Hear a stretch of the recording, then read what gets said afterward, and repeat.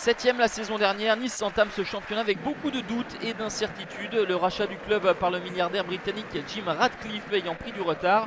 Patrick Vieira n'a pas eu le recrutement escompté, aucune arrivée majeure pour l'heure. Saint-Maximin est parti à Newcastle et n'a pas été remplacé. Aucun avancement non plus de métier de renom dans l'effectif.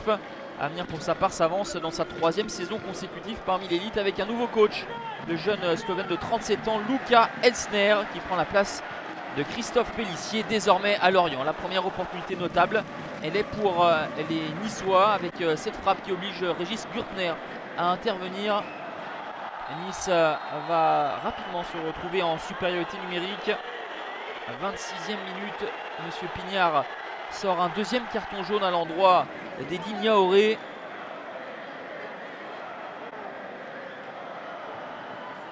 La faute sur Willan Cyprien. Et pendant plus d'une heure, les Picards euh, vont devoir être euh, un de moins. Nice qui pousse dans les minutes qui suivent.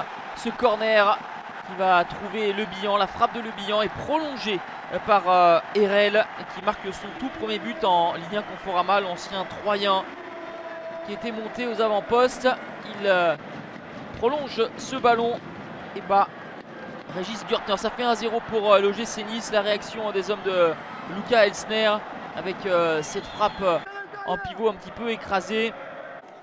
Luca Elsner qui d'ailleurs parle français pour avoir vécu plusieurs années à Nice justement. Son papa même a évolué au gym. Ça fait donc 1-0 pour Nice qui mène en supériorité numérique. Notez que Patrick Vira est privé de Benitez, Atal, Danilo Pierre euh, Lesmelou est suspendu. Les changements opérés par euh, Lucas Elsner dans cette fin de rencontre avec l'entrée de Shadrach Akolo.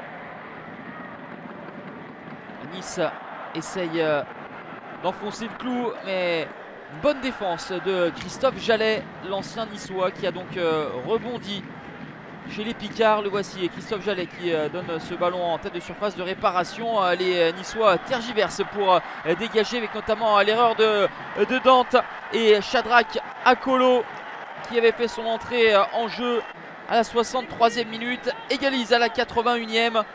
Ce joueur congolais prêté par Stuttgart fait preuve d'une grande lucidité, d'un sang-froid impeccable pour éliminer Yanis Clémencia. Le troisième gardien niçois égalisé, mais à la 95e minute, au bout du bout euh, du temps additionnel, c'est le capitaine Dante qui prend le meilleur euh, sur euh, le fort. Monsieur Pignard ne siffle pas de faute du Brésilien sur le défenseur amiénois. Ça fait donc 2 buts à 1 en toute fin de rencontre. Fin de match dantesque pour les Amiénois qui s'inclinent à la dernière minute après avoir tenu près d'une heure en infériorité numérique, amoindri et sans recrue. Nice a fait preuve de cœur et de mental pour l'emporter et bien démarrer.